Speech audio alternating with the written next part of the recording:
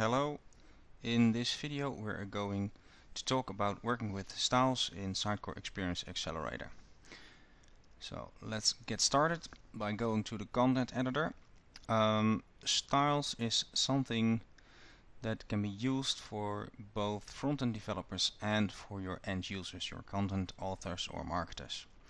Um, the principle is pretty basic um, you can go to your site presentation and then go to styles.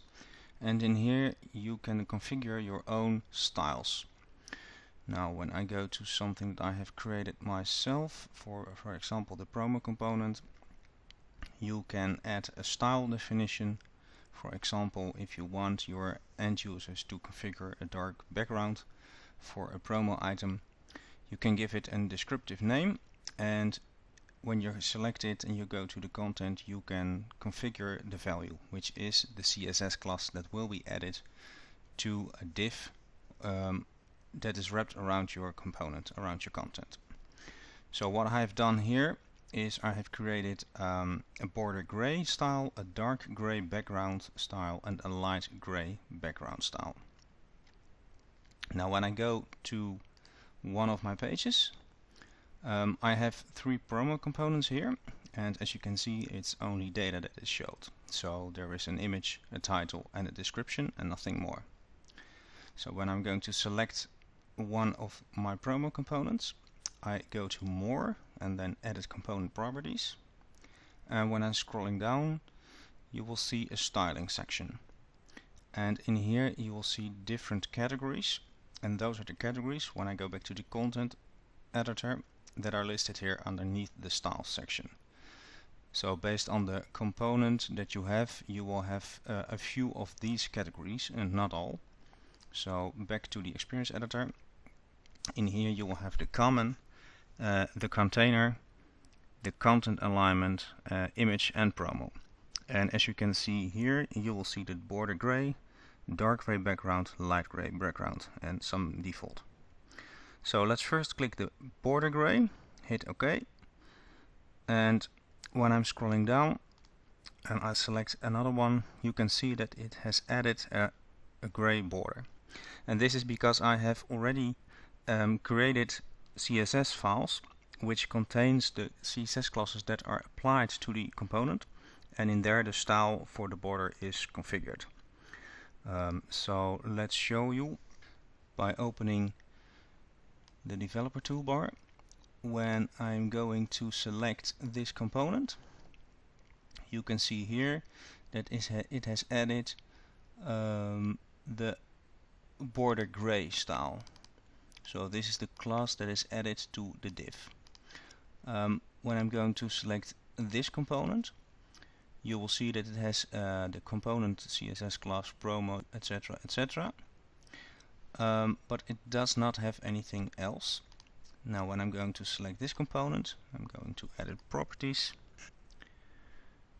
Then I'm going to select, let's choose the dark background, hit OK. And now it has added um, a different style and you saw some flashing things here.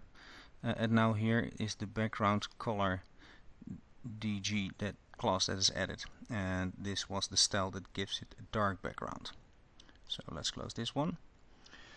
Um, last but not least I can do the same with the third. And let's choose a combination of border and light gray background. Hit OK. And now it's applied. And if we're going to save this then you will see that you have three different versions of the promo component with the same rendering variant but in different visual styles. So that's pretty cool. Now another thing that you can do with it or a way of using it is um, the following. I'm going to another page and I have configured uh, some styles with which I can add full width containers and a background. So by default my content is fixed as you can see here and centered in the middle um, but I want something at the bottom for example that use the full width of the page so I'm going to add a container for it It's just one of the components of SXA. And now that it's added, I'm going to more edit component properties. I'm scrolling down a bit. And here underneath the container, I have created a full width container class. Um, so that it will use the full width of the browser and I'm choosing the background pink.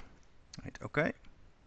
And if we're going all the way down, you can see that it has added the background color and in this scenario in the uh, experience editor it does not show the full width but when I save it and publish it it does.